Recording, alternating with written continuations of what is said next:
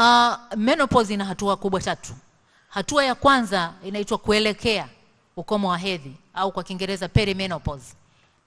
Ya hatua ya pili ndiyo menopause yenyewe, na hatua ya tatu ni postmenopause, yani baada ya menopause.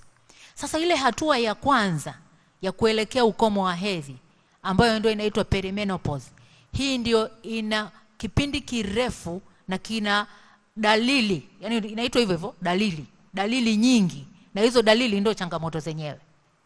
Kwa kwa sababu wenzetu nchi zilizoendelea wamekuwa kufanya hizi tafiti kwa miaka mingi iliyopita, wamefanya uchanganuzi na kuona kwamba kuna dalili takribani arobaini. Na wengine inatofautiana, wengine wameziona thelathini na nne wengine wameziona arobaini. Lakini mimi labda na utafiti wangu ambao sio rasmi sana, nimejaribu kuangalia zile zinazotuathiri zaidi wanawake wa Kiafrika, nikaona ni kama ishirini.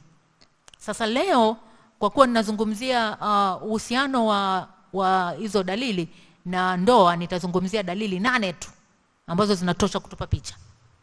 Sawa. Sasa hicho kipindi cha kwanza ndicho ambacho kinadumu miaka kumi. Ina maana kwamba sasa nalenga na moja kwa moja uhusiano wake na ndoa. Ina maana kwa mfano uh, huyu kijana ameoa huyu binti akiwa na miaka ishirini na tano, naweka umri wa wastani ana atakaa na huyu binti ambaye baadaye atakwenda kuwa mama au mwanamke mkubwa. Akifika umri wa miaka 45 dalili zinaanza kujitokeza, kwa sababu hicho kipindi kinakaa miaka kumi, miaka 45 mpaka miaka 55 na, na baada ya hapo, baada ya miaka 55, na huu ni umri wa wastani.